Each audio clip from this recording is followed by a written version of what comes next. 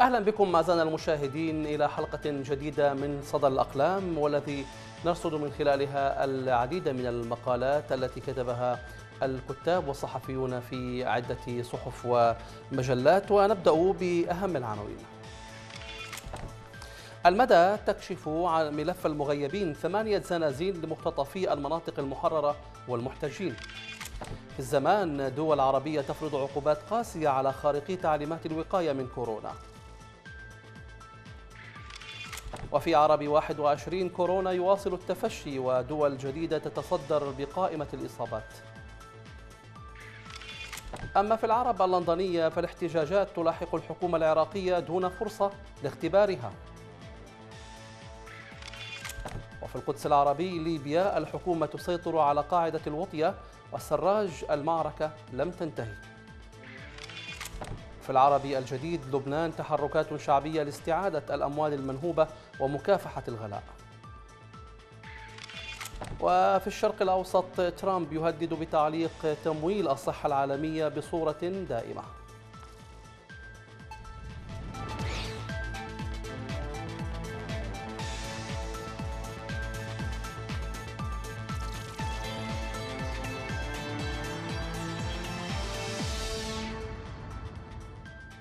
ما ملامح صفقة طهران وواشنطن في بغداد مؤخرا؟ تساؤل يطرحه الكاتب مثنى عبد الله في مقال بصحيفة القدس العربي ويقول ليس جديدا القول بأن ولادة أي حكومة في بغداد لن تكون يسيرة من دون تحقيق معادلة التوازن الأمريكي الإيراني فيها لقد بات هذان الفاعلان يحققان الاستراتيجية المهمة بهذه المعادلة كما بات العراق هو الآخر محكوما بها أيضا. فهذا البلد تراه الولايات المتحدة مركز ثقل في المنطقة وتستطيع من خلاله التأثير على كل الاتجاهات أو في كل الاتجاهات. لذلك تخاف من سيطرة إيران عليه لأن ذلك قد يمكن روسيا والصين من السيطرة على مصادر الطاقة. إن دراسة كل المؤشرات التي وردت في مواقف وتصريحات الأذرع الإيرانية في العراق والمنطقة بخصوص تنصيب رئيس الوزراء الجديد تشيء أن هناك صفقة تمت بين الفاعلين الأمريكي والإيراني. قبلهما البعض مضطرا كالعصائب واعتبرتها بدر انتصارا لواشنطن. وسعى حسن نصر الله لوضع بصماته عليها كي تمر. ثم باركها كما تقول صحيفة الأوبزيرفر البريطانية. ولم تذهب كتائب حزب الله العراقي إلى اتخاذ موقف عملي أبعد من التصريحات المناوئة. أما واشنطن وطهران فقد سارعتا لتقديم التهاني والتبريكات وكان لقاء سفيريهما في بغداد برئيس الوزراء الجديد علامة فارقة. وهذه كلها في السياسة والعلاقات الدولية تعتبر إشارات مكلفة. تشير إلى خطوات جدية قد حدثت في موضوع ما.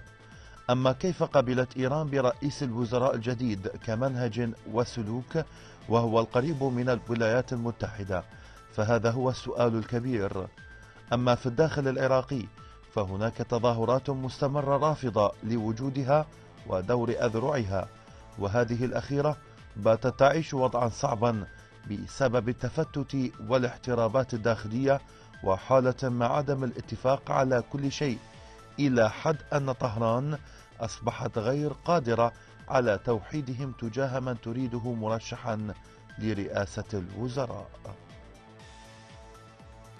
يبدو واضحا يقول الكاتب من الإحباط الذي يغلف تصريحات الميليشيات والقبول على مضض بالأمر لتمرير الحكومة الجديدة وما يقابله من موافقة أمريكية سريعة على تمديد الإعفاءات من العقوبات على واردات الغاز والكهرباء الإيراني إلى العراق لمدة 120 يوما وليس 30 يوما كما حصل مع الحكومات السابقة. وكذلك استعداد صندوق النقد الدولي لتقديم قرض للعراق كلها تؤكد على أن صفقة مرور رئيس الوزراء الجديد وتمرير حكومته قد تمت وأن طهران لم تجد خيارا آخر في ظل الظرف الراهن.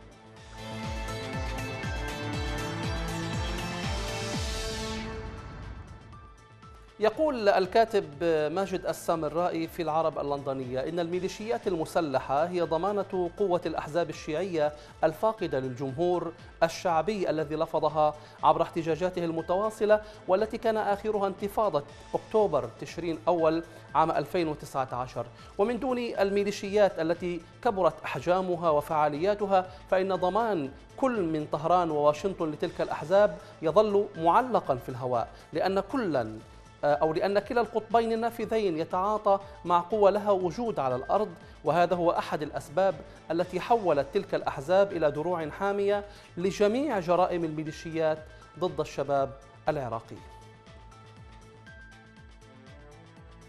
لقد انتهت الأغطية المذهبية للأحزاب التي حققت لها مكاسب سياسية منذ الأيام الأولى للعملية السياسية العرجاء الحرباء في العراق. وأصبحت قوة هذه المجموعة أو تلك ترتبط بما تمتلكه من ميليشيات مسلحة على الأرض. وبدرجة صلتها بطهران مصدر الولاء السياسي وليس المذهبي الذي يستخدم كغطاء لولاء العمالة للأجنبي. فشيعة العراق لهم مركزهم الأول في التشيع بالنجف وليست مدينة قم الإيرانية. وحين شعرت هذه الأحزاب الفاسدة بأن انتفاضة شباب العراق أخذت تحاصرها في وجودها السياسي لجأت إلى الميليشيات المسلحة التي أصبحت لها قوة نفوذ سياسية في البرلمان. ثم خضعت للمهادنة الشكلية التي نصحت بها طهران في قبول الكاظمي كرئيس للوزراء معتقدة بأنه لن يتجرأ على فتح المعركة مع الميليشيات المسلحة. هذا الإحباط الميليشياوي لا يعني الخضوع للخطوات المقبلة في برنامج الكاظمي في نزع السلاح عن تلك الميليشيات على طريق تحقيق الحد الأدنى من هيمنة الدولة واستقلالها عن النفوذ الإيراني. فقد بنى قاسم سليماني ومساعده أبو مهدي المهندس خلال أكثر من عشر سنوات شبكات مسلحة انتشرت داخل العاصمة العراقية والمدن الرئيسية مزودة بقدرات تقنية صاروخية قادرة على إلحاق الأضرار بالبشر والممتلكات المحلية وبمصالح الدول المحيطة بالعراق. هذا الضجيج حول قدرات الميليشيات كأذرع إيرانية في العراق يعود إلى غياب مركزية الحكومة وقوتها من خلال رئيسها ومدى حماسته وقدرته على اتخاذ القرارات وهو القادر على تحويل القوات المسلحة إلى قوة ضاربة بيد الحكومة ضد الميليشيات وفوضى الأمن.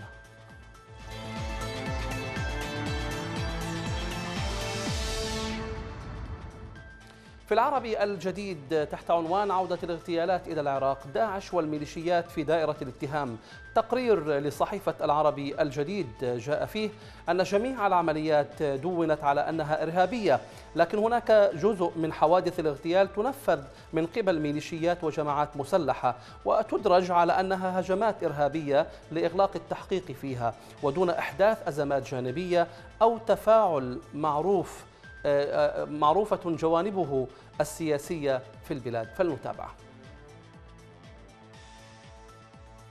للشهر الثاني على التوالي تتواصل عملية تسجيل قوات الأمن العراقية حوادث اغتيال في مناطق عدة من البلاد. احتلت محافظتا ديالا وكركوك الصدارة فيها وطاولت كما العادة ناشطين وحقوقيين وآخرين ينشطون ضمن قوات العشائر المناهضة لتنظيم داعش. أو بفعاليات اجتماعية في بلداتهم. وفي الوقت الذي تجير الشرطة والسلطات الأمنية تلك الحوادث بجهة واحدة وهي تنظيم داعش الذي صعد أخيرا مع عملياته الإرهابية في مدن شمال وشمال شرقي البلاد تحديدا. فإن هناك من يشير إلى وقوف جماعات وميليشيات مسلحة وراء قسم من تلك العمليات بدوافع سياسية وطائفية وأخرى تتعلق بمحاولات إحداث تغيير ديموغرافي في عدة مناطق من تلك المحافظات. وبحسب مسؤول عراقي بوزارة الداخلية في العاصمة بغداد فإن 11 عملية اغتيال نفذت منذ مطلع الشهر الحالي في ديالا وصلاح الدين وكركوك شمال بغداد. طالت ناشطين وشخصيات اجتماعية وأبناء عشائر وسياسيين آخرهم المرشح للانتخابات العراقية التشريعية المحامي داود الحمداني شرق بعقوبة عاصمة محافظة ديالا المحلية. يضيف هذا التقرير عمليات الاغتيال التي تنفذ بأساليب مختلفة في المناطق السنية مثل اقتحام المنازل أو اعتراض سيارات الضحايا أو زرع عبوات لاصقة تتشارك تتشاركها داعش والميليشيات على حد سواء.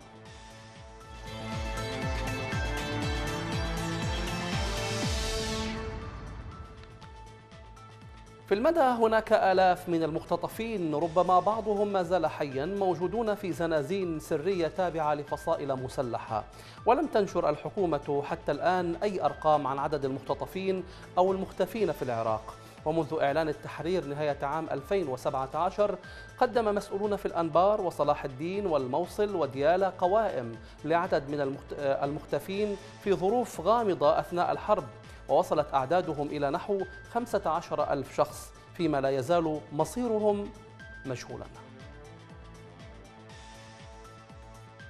لأول مرة منذ ست سنوات يجرؤ رئيس وزراء للتحدث علانية عن ملف المختطفين والمغيبين قسرا إذ كان هذا الملف الحساس يناقش في اجتماعات مغلقة وتشكل لجان دون عرض نتائج أو نشرها على مستوى ضيق.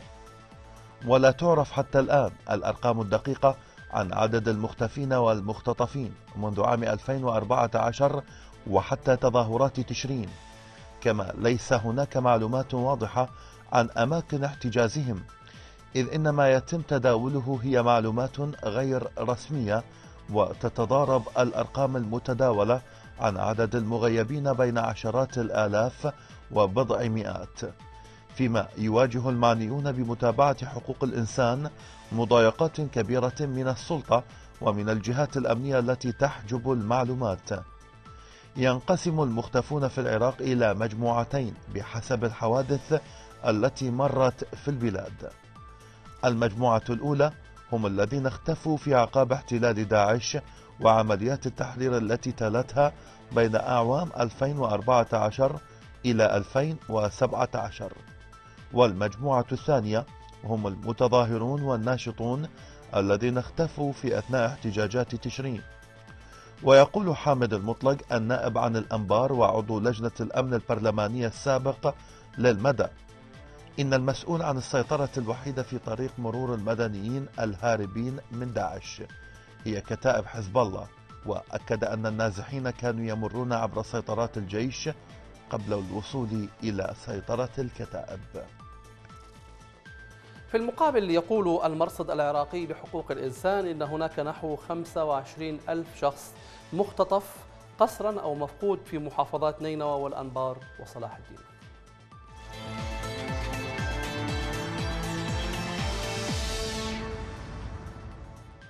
لم يكن تصنيف حزب الله كمنظمة إرهابية من قبل ألمانيا والذي جاء متأخرا إلا مجرد الحجر الذي حرك المياه الراكدة تجاه مسألة أعمق وأكبر تتمثل في قدرة الميليشيات المسلحة في النجاة من انكسارات ما بعد كورونا.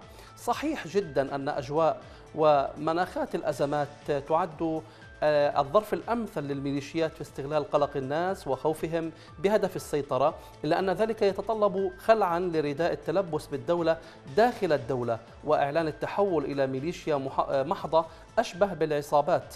وكان ذلك في مقال للكاتب يوسف الديني في صحيفة الشرق الأوسط.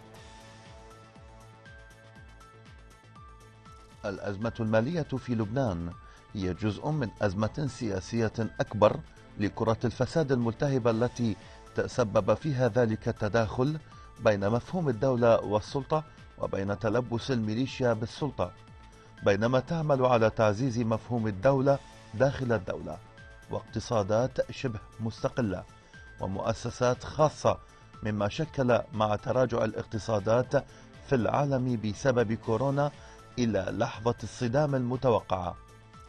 وإن حاول الحزب تلافيها من خلال تعيين حلفائه في مناصب مالية مرموقة بهدف تعزيز موقعه المالي داخل لبنان. تحركات ميليشيا حزب الله المالية ليست اليوم سوى مقدمة لحرب مالية ضروس. حرب وجود تهدف إلى استبدال النظام المالي والمصرفي المتهالك من خلال مؤسساته ونظام الميليشيا بهدف أن تنعكس تلك العملية المستحيلة على تعزيز قوته النقدية والتأثير على السيطرة السياسية لاحقا لعلاج انكساراته في الشارع وتراجع شعبيته حتى داخل مواطن نفوذه سابقا أو المجتمعات المتعاطفة مع شعارات المقاومة والتحرير والتي وإن انكشفت لا يزال خطاب حزب الله ينوع في خطابه الجديد وهجومه على المصارف على طريقة روبن هود. حرب المصارف الأخيرة أثبتت سيطرة الحزب على مفاصل الدولة في لبنان وأنها لا تقف عند حدودها السياسية بل تعدت ذلك إلى تحولها إلى قوة اقتصادية ضاربة لا سيما مع فترة الكساد التي تمر بها الدولة وتفسخ التحالفات السياسية.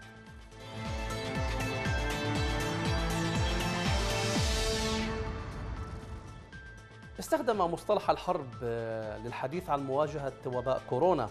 الرئيس الفرنسي ماكرون والمستشارة الألمانية أنجيلا ميركل بل إن إحدى الصحف آه، الصينية تحدثت عن سيناريو الحرب العالمية الثالثة في وصف الإجراءات التي اعتمدتها جل دول العالم لمحاربة الفيروس. يبدو المشهد العالمي وكأن ثمة حرب حقيقية مع تواتر إعلان حالة الطوارئ وصور الشوارع الخالية. حول كورونا ومصطلح الحرب كتب حسن أبو هنية في موقع عربي 21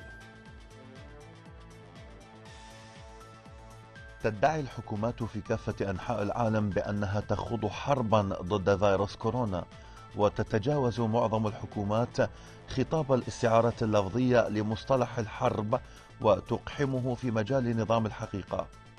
لكننا ندرك أن الكفاح من أجل القضاء على فيروس كورونا ليس حربا بين البلدان وإنما هو حالة طوارئ عالمية للصحة العامة.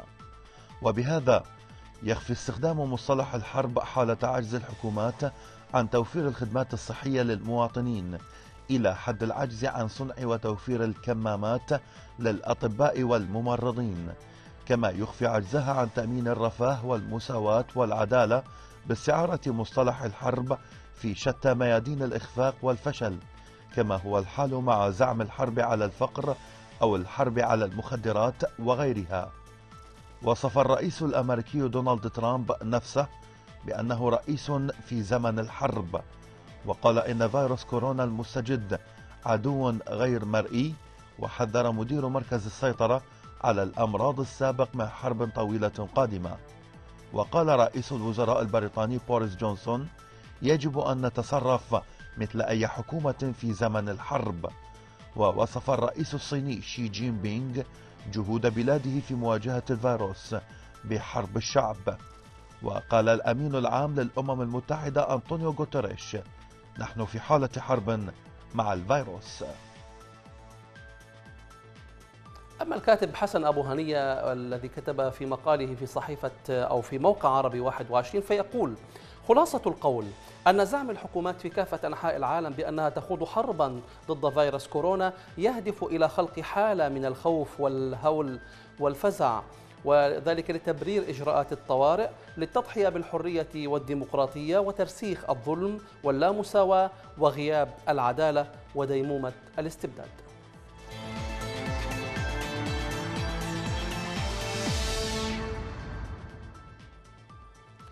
توصلت شابة كندية إلى طريقة مبتكرة لمعانقة والدتها بأمان أثناء تفشي فيروس كورونا وهو قفاز كما تشاهدون قفاز العناق وهو ستارة بلاستيكية مزودة بأربعة أكمام ومعلقة على حبل غسيل. وقالت كارولين لوكالة الصحافة الفرنسية فكرت في أنها لن تحصل على فكرت في أنها لن تحصل على معانقة أمها وكان عليها أن تفعل شيئا حيال ذلك. وقام الزوجان بتثبيت الأكمام في ستارة بلاستيكية كبيرة ما يسمح لشخصين بمعانقة بعضهما بعضا دون اتصال مباشر. وقد تمت مشاركة مقطع فيديو سجل للشابة ووالدتها في اللحظة التي تعانقتا فيها على وسائل التواصل الاجتماعي وانتشر على نطاق واسع.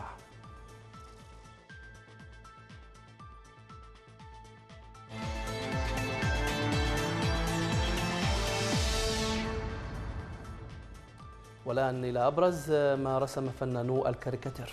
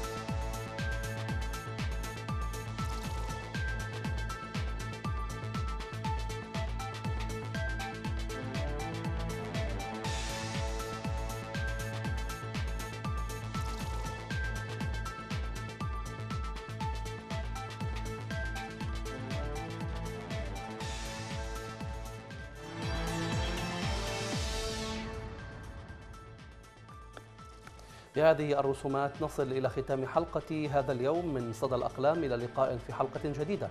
السلام عليكم ورحمة الله.